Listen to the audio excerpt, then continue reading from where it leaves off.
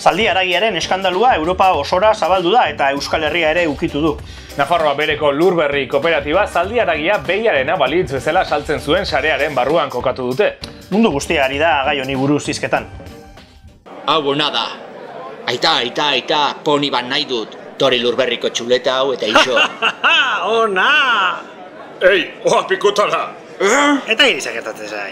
Ire txistea, iraingarria duk. Abai! Bai, gure lepotik barrezaritzea ez zaidak batere barregarria iruditzen. Broma batek, motel.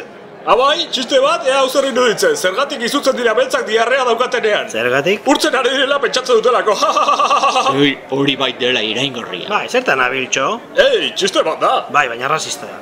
Bai, eta zaldian agiaren broma ez edo? Er, desberdina da. Bai, zertan? Eta jakin liteke zergatik ez duen tragorik edaten?